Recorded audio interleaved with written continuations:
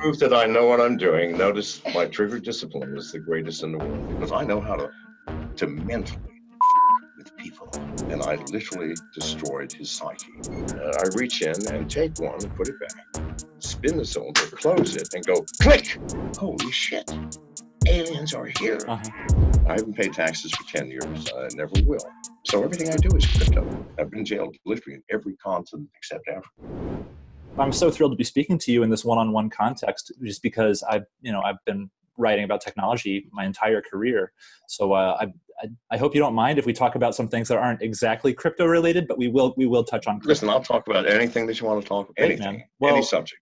All right. Let's start with um, you know I get I get crazy emails from all kinds of people. One of them came uh, a few months ago saying that you had been murdered and it even included a picture of a body slumped over the floor and i kind of like i was like that mm-hmm. that looks like it might be the back of john mcafee's head. I don't know what this is. Mm. i'm very happy to see you alive and well here today but i'm curious I, am I'm, I'm alive. I'm alive. I am alive and well. What was your experience of this hoax murder and were you involved in it sir?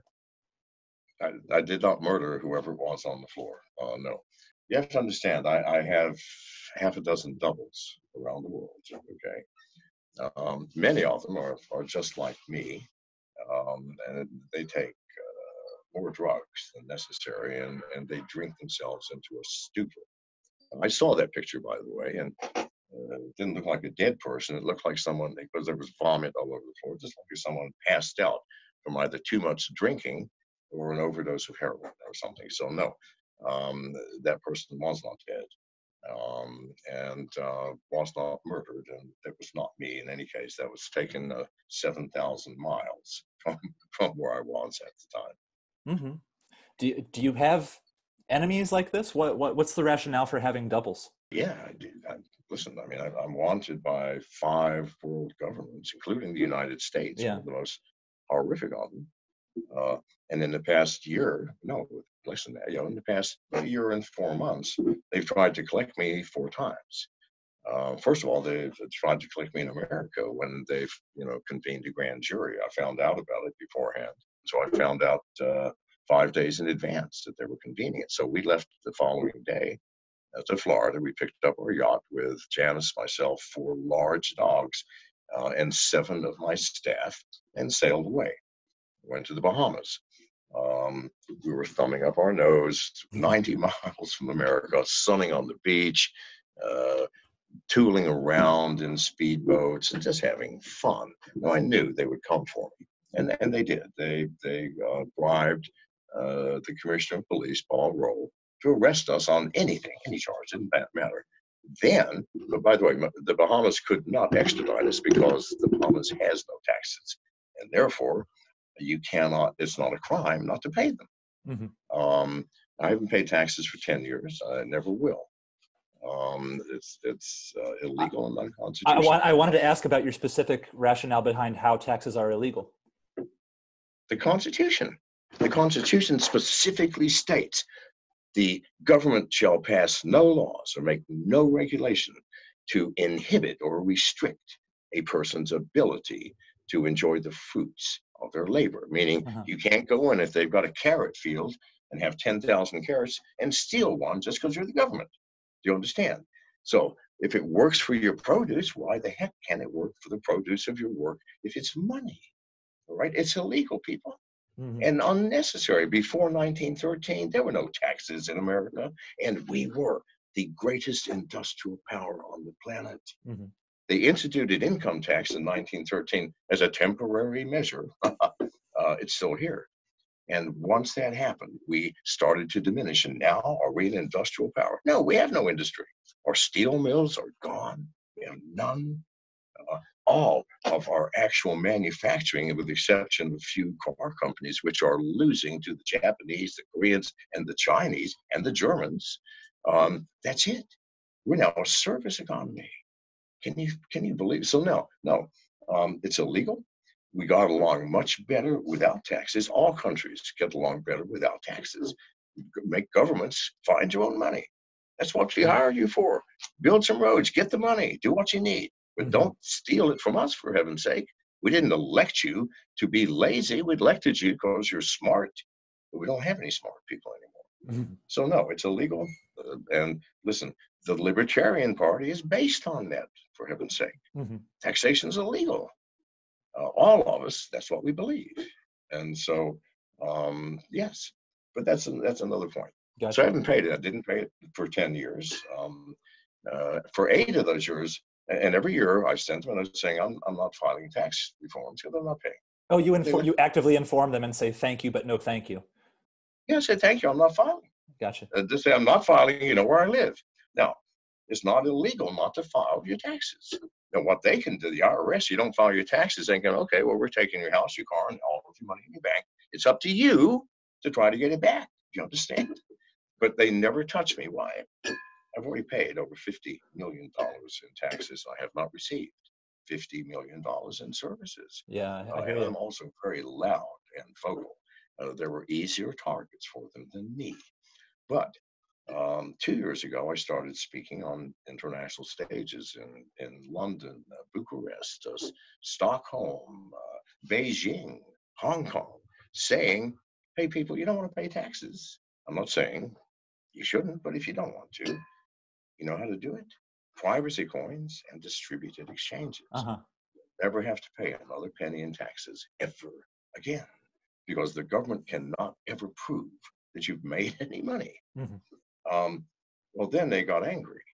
Uh, and when I started, I was the chairman, uh, the CEO of MGT, uh, the world's sixth largest Bitcoin mining company, $800 million valuation. Um, the SEC, immediately after I started uh, saying that, filed a subpoena against the company.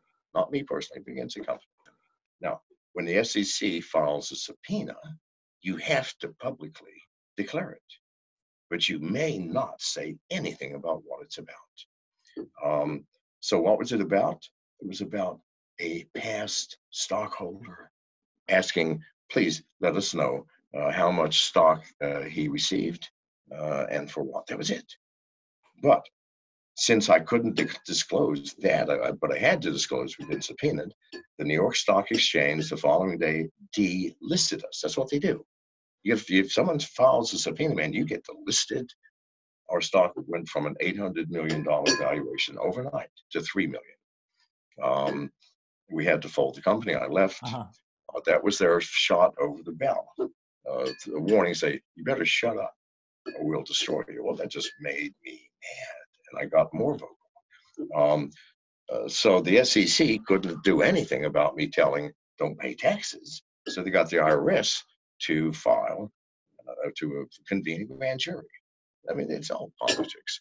So that's why I'm on the run from the U.S. I'm on the run from the Bahamas since they're after me because they we left six hours before they came to collect us. We went to Cuba. We were in Cuba for two months, and the Cuban government grabbed Janice and I, uh, took us in to an army base.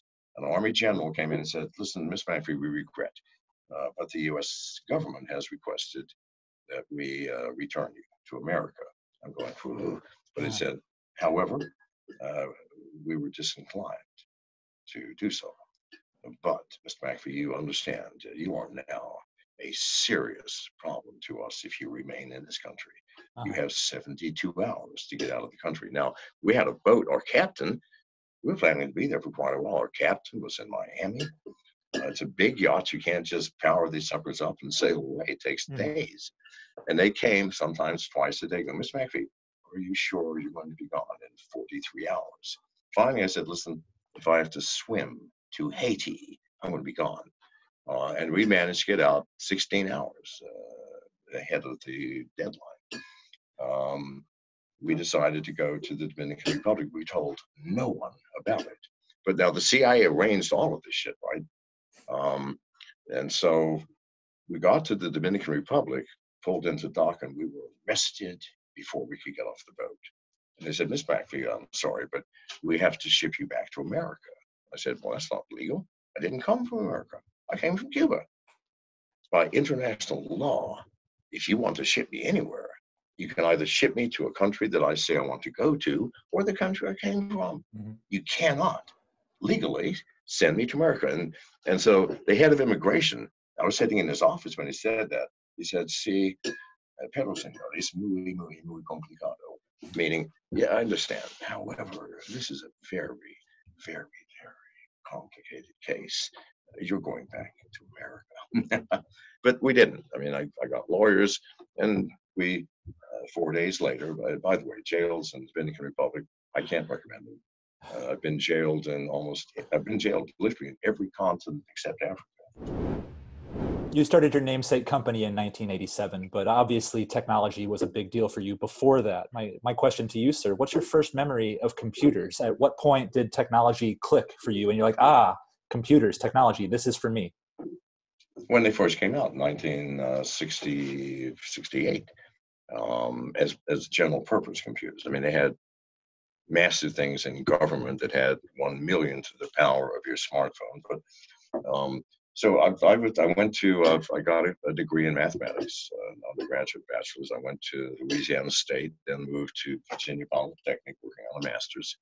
I decided to take uh, the summer off. Uh, but I got a job with General Electric. I didn't know what it was about. Uh, they was looking for mathematicians. I'm one of the finest in the world, if I may say so. Mm-hmm. So I said, yeah, goodbye. Um, uh, I went to a training program for three months. I didn't tell them I was going to go back to school. You know, at that age, I was deceptive. Uh, however, after three months, I realized, Jesus, this is what I want to do. Um, and it was the most technical and still the most technologically complex and intense of all computer disciplines process automation real time computing if you know what that means that means that you have a computer controlling a moving system in real time and if you if you're off by a fraction of a millisecond you might destroy a, a $2 million steel mill roller or mm-hmm. something. So, and so I've, uh, I worked uh, for your automating Australia Iron and Steels, a steel mill plant uh, in Port Kembla, New South Wales, Australia. Uh, that's where I really learned what computers really mm. were, how they, how software and hardware are an interface issue and a really one thing. Um, and from there, I went to, I, I did so well I got a job at NASA, uh, not just normal NASA, but their Institute for Space Studies uh, at Columbia University in, in Manhattan. Uh, there, I was assigned uh, the data reduction of the world's first weather satellite, TIROS. Um, and that's also where I first learned that there is a thing called computer security, because they were terrified that the Russians or the Chinese would get access to the data because no one else had any weather satellite, no satellites at all that were transmitting data. Um, and it had been transmitted dating for years in analog form. Um, and so they said, "How do you deal with this?" I go, "Fuck me, I don't know." But you know, I was 25 at time, and I, you know, I'm 25 will take on any project. Uh, and after a year, I had designed a system to reduce the data into a not just a manageable form, but to an intelligible form. Um, and and from there, um, I went to UNIVAC, which at the time was the second largest computer manufacturer in the world, mm-hmm. uh, designing operating systems. I was the lead. I was I was 25 years old, and the lead architect for UNIVAC's operating systems. Uh, and that was my beginning. And this wow. that was just in 1970 was was that, and I've been in computers ever since. Yeah, and security ever since because uh, uh, at NASA I understood. Oh, people are concerned about other people accessing data. Well, how interesting. As, as I understand it, you basically beat Skype and Instant Messenger to the chat and communication game in the 1990s. Do you feel like you get enough yes, I did. credit with tribal with tribal voice? However, at the time, the system was was hot. We didn't have the bandwidth for it. I mean, this is when people were using T1 lines. Mm-hmm, that was as mm-hmm. fast as you can I, I, am I am familiar. I had okay, one to no, my house. So absolutely. So if we only had one user, uh, we were spectacular. It fell apart at 10. And but nevertheless, we invented it. Voice, actually voice, uh, we didn't have video at the time, voice only. Um, but we had, we were the first instant messaging system. Um, so tribal voice, eh, when I finally realized, you know, I'm sorry, the, the, the hardware, we were 15 years ahead, boys. And so we sold the company for $17 million to CMGI um, in Boston. And moved on to other things. I, I then uh, co-founded Zone Labs, uh, and uh, we sold Zone Labs after a year to Checkpoint for four hundred million dollars uh, out of eleven months' work. Okay? Wow. Uh, so people know me from McAfee, but no, that was not my greatest success. That was some trivial thing. It was my future things, which I did not attach my name to, uh, that taught me and uh, and made me uh, all of my money. hmm Well, speaking of money, what were the circumstances in which you first gained familiarity with cryptocurrency? Uh, was it was it the invention of Bitcoin, or did you have somebody walk you through No, it? no, How, okay. did- So how did you, here's how how, did you here's how that happened. Here's how that happened. I mean, at McAfee, I started collecting uh, prize employees, programmers. Um, uh, there are, in fact, programming is one of those strange fields where you can find people uh, who are worth a hundred other programmers. Mhm. In truth, all right, this is a fact. And so I collected those. One of those was a genius named James Zaromsky, worked for me at McAfee. Uh, brought him with me to Tribal Voice, and he worked with me on a whole bunch of product projects after that. I hadn't talked to Jim in years because I had stopped doing those things. I was simply out traveling and enjoying myself. I was in Belize. He called me, just chatted, and said, "I'm coming down." I go, "Great, great. What? Yeah, what are you doing?" He says, "I'm mining." Mining. But I didn't ask. I'm thinking, what's he mining? Gold, uh, diamonds? Who knows? Silver, copper, uh, lead? I don't know. So he came down with his girlfriend. Um, I I took him out the next day uh, on my uh, sailboat. Um, uh, he and his girlfriend and you know a couple of dozen other people spent a couple of days out. And that first day, we were sitting on the the net up front. It's a catamaran, uh, and uh, he handed me um, Bitcoin's white paper Mhm. which I read uh, cover to cover in a matter of minutes. And being a mathematician, I was just interested in the math part of it. When I saw the brilliance of it, I go, holy shit, no wonder he came down. Hmm. And that's what got me involved. And I've been in crypto ever since. So, so do you care to talk at all about what coins you hold besides Bitcoin, or is it all Bitcoin? I don't hold coins. Good luck. The only coins I hold are the coins that I use for business. I don't have. I, listen, we can't have. Obviously, we can't have a bank account, and certainly we can't have a credit card.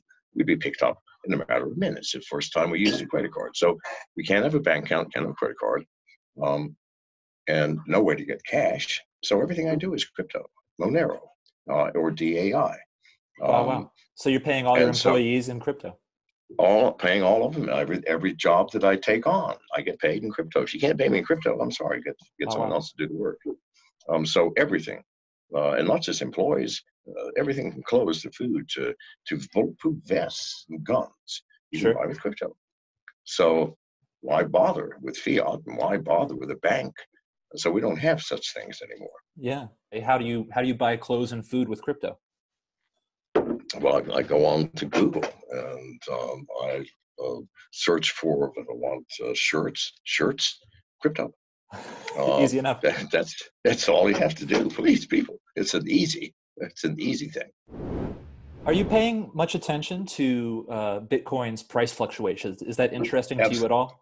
The Bitcoin, in no way, shape, or form, is even remotely interesting to me. Okay. I'm sorry. So I, I have no clue. I do know this: that the halving is coming up uh, Mhm. any day now. Bitcoin is going to is going to skyrocket, uh, just like it did in the quartering. I mean, I was I was running MGT, the sixth largest uh, Bitcoin mining company, Mhm. uh, during the quartering. What happened is Bitcoin went sky high, and after the quartering, it sank to next to nothing. The same thing's going to happen now uh, Mhm. soon. You you watch it. I promise you.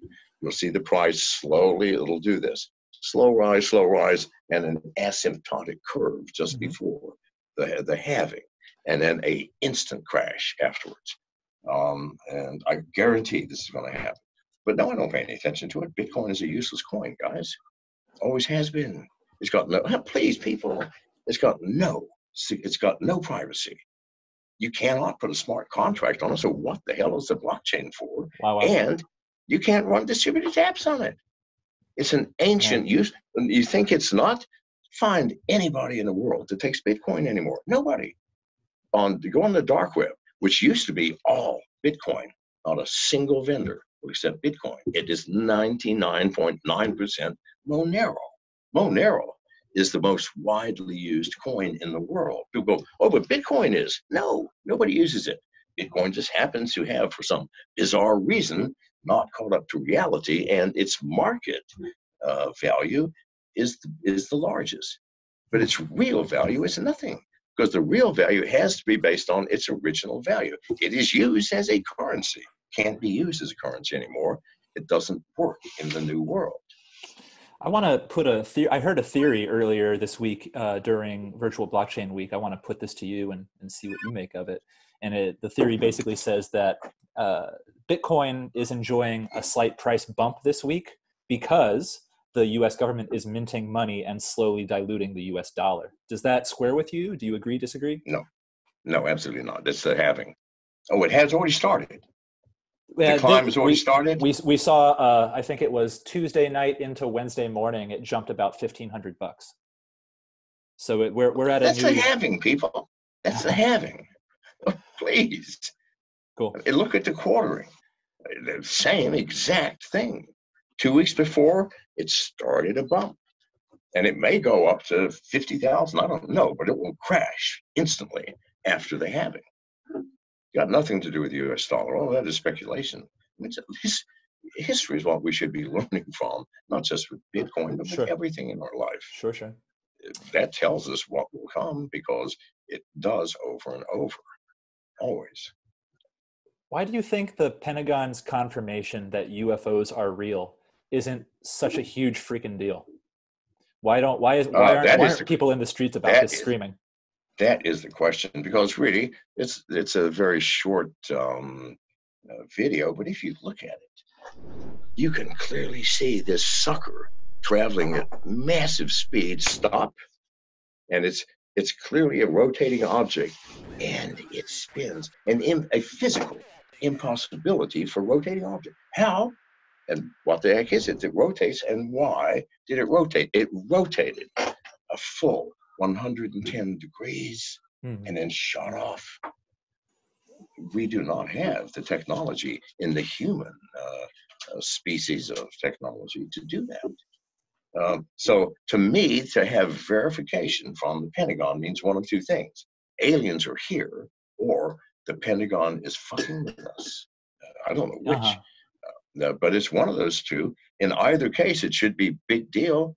Why is the Pentagon lying to us, and what are they trying to achieve? Or, holy shit, aliens are here Uh-huh. for for real. I don't know, but it didn't seem to be a big deal, and that's fine. I mean, if people are more concerned about hiding from an uh, from a non-existing threat, uh, that's fine with me. Let, let me ask you kind of a weird question uh, uh, about your experience of your own life, just because it's been such a full life from what from what is publicly known, and I imagine what isn't publicly known only adds more to the story. You started you started a huge company. Your name is basically synonymous with antivirus protection. You've run a presidential campaign. You're married to a woman more than 30 years younger than you. You're on the law from law enforcement, including the United States. Mm. Uh, you were Mm. arrested for drug manufacturing and released without charges. You've written books about yoga, and I understand that some of these books take concepts like telepathy and time travel seriously. This strikes me as a full and unusual life. Does it feel unusual to you? No, it just feels it feels hectic and out of control. That's all. It it has no. I'm telling you, it has seriously. Uh, it has been since I was 23. That's when all this shit started. I don't Yeah. know. Listen, if you step out of the box, um, you're in an alternate universe, people. You don't really understand. Uh, people habituate their lives to following uh, what authority says. What are authorities? Well, the government, Mhm. um, teachers, uh, policemen, uh, the FBI, Congress. These are authorities. Um, and we have been habituated to both believe that these authorities are here for us, for our benefit. Well, uh, you need to wake up. They're here for their benefit. What Yeah. congressman, what congressman truly uh, is going to sacrifice their well-being for you, knowing that listen, uh, I'm going to lose money doing this, but it's good for the people. No, it's for them. Uh, and they will rationalize why. Uh, for example, can we not be real for a second? Every congressman is a multimillionaire. Every single one, without exception. Few of them came into Congress as millionaires, and all of them became millionaires before their four-year term was up. Now, I want to ask you something. What what magic is there about having the title congressman or senator? Is it that money flows from the heavens into your pocket? Hmm. Wake up, people. That doesn't happen. So if that's really what's happening, they do not have your interest in heart. Mm-hmm. Mm-hmm. They have the lining of their pockets in heart. This is just a fact of life which we have to accept. So we we accept authority, uh, and we accept it for for two reasons: laziness. You know, we're uh, easier to let somebody else think for you, especially authority, and fear.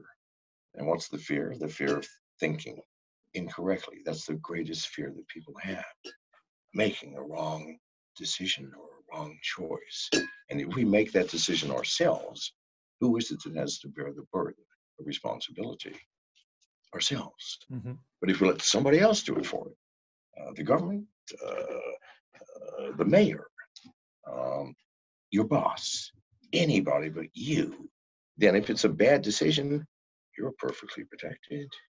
It's that person that bears the responsibility. So these two things combined keep people in a box. And that box has extraordinarily narrow limits to it. Well, John, it seems decided, like so much of your life is about getting out of the box, John. Well, of course it is. That's all life is. If you, if I don't want to be a habituated individual yeah. that thinks other people's thoughts and believes other people's beliefs. I want to see life for myself. And you can't do that inside the box because life is outside the box, people. Mm-hmm. So when I was in my 20s, I realized, when you know, my entire life has been what my parents taught me to do, what my teachers taught me to do, what the police said I should do, what the government said I should do, what college said I should. Well, no, enough of this crap. I go, I'm just going to think for myself. Yeah. When I did so, whoa, the world opened up. But let me tell you, you had better be prepared for what follows because it's not always comfortable. Mm-hmm. And it is always completely unknown and completely unpredictable and sometimes frightening and sometimes painful. Sure. Uh, Janice, for example, was not remotely happy with her four days in the Dominican Republic jail. right? Understood. Me, I've been in jails, more jails than, than God. It's like another jail for me. Um, you habituate even to those things. But if you don't want to go to jail, if you don't want people to want to kill you, if you don't want to have to run from governments, then stay in your box, people because that may not happen to you, but something equally as bizarre and frightening will. This mm-hmm. is what you this is what you're risking. Get out of the box, you're in another world. It's been there your whole life, people. Your entire life, that world is running in parallel with you. And it's been beckoning you. Come out and play. Come out and play. Yeah. I promise you will survive it. Uh, I'm 74 and I have survived uh, 52 years of it. And I am I would not change a single second of this. I would not change my jail time. I would not change hiding in the jungles of Belize while bullets were flying over my head. I would not change a single thing. It's the stuff of movies, and and there already is one, the documentary about your life, and then I also understand that there's some movie called King of the Jungle. Right. You, Michael heard... Keaton. Michael Keaton will be playing me, and Zac Efron will be playing the reporter. It's just about a two week, it's tiny two week segment of my life. All right. But for the reporter who wrote the story or the script, made a career. It was the most. It was yeah. the most horrific, shocking, and terrifying experience of his life, and he unraveled. Went back and wrote this thing. So that's what the movie's about: is mm-hmm. less me and more of him. Of he listened. Listen, why I manipulate the press, I admit. And what happened is um, um, who was it? Wired, Wired magazine contacted Yeah. me, begged me to let uh, one of their reporters come and live with me for two weeks. And I go, yeah, I've never done that before. Well, I'm not going to say no because I've never done it before. Well, he was there for about six hours, and I go, Ooh. the only way this is going to work is that I'm just going to fuck with him the entire time, which Uh-huh. I did. Uh-huh. And he did. By the end, he was a bubbling mass of terror, and it was just so he went back. That's what this movie's about. How, how did you f- with him? W- Setting off uh, Oh, what? okay. Well, the guns and day. stuff? I don't know. Well, you need to read the story, but let me tell you one, the, one, the most prominent one that everybody remembers because he wrote the story is the second day. I'm thinking, okay, it's not going to work. So uh, you're just mine, dude. Uh, you were stupid to come down here, and this is what you get. So we're talking. We're in. We're in my. Listen, I had houses all over the place, and we were sitting in one on the beach in this gorgeous, huge room, massive table in the middle, and he's sitting over here to my left, maybe eight feet away, and I'm sitting here, and we're talking. He's talking about my compound in the jungle and the the antibiotic work that I'm doing there. While I'm talking, I pull out my uh, 38 revolver. I always am armed. Pulled it out, and I'm still talking. Uh, I open the cylinder and dump the shells out. Um, uh, I reach in and take one and put it back. Spin the cylinder, close it, and go click. Okay. He jumped up backed up, banged against the wall, and said, No, you don't have to do this. Stop, stop. And I said, Stop what? Click. Open it again, spun it, click. I did it maybe 50 fucking times. all right? Uh-huh. Now, I'm a sleight of hand specialist, all right? Now, how did I do that trick? What I always do, unless I am anticipating a serious problem, is with revolvers, I take uh, the bullet out, dump the, uh, uh, I dump the powder, put it back in, pop the cap because you have to pop the cap, else it'll explode against your head and you could damage yourself. Put the bullet back in, put it in the gun. How do I recognize it? Because when I dump them out, the bullet with no powder and the cap busted will have a tiny indentation where the firing pin fired the cap. Mhm. So I'll take that bullet, put, pull it back in. You can click that a million times, it's not going to go off. Now, what was even better is at the said, calm down, calm down. It's, it's going to be okay. It's going to be okay. So I said, let's go outside. And he just need air. And he's, and he's just freaking out. You know, he's, he's got he's got tears coming down his face, not from crying, but he doesn't know what else to do. He pissed himself, by the way. Uh-huh. Wow. Um, and so I take him out on the porch. And I said, "It's okay." I pointed the gun at the sand, pulled the trigger, went boom, and the sand exploded. Right? What did I do while I'm taking alcohol, he does not looking at my hands. I take that bullet out a live within. Mhm. Um, so now, that was the mildest thing that I did with him while he was there. And you have to believe me, if I want to f- someone, I will fuck with you. And that was the beginning. That was the mildest. That was nothing compared to what else I submitted him to. And when he left, he was a literally bubbling, incoherent. He had lost his mind. And so this this movie is about those two weeks while he was with me.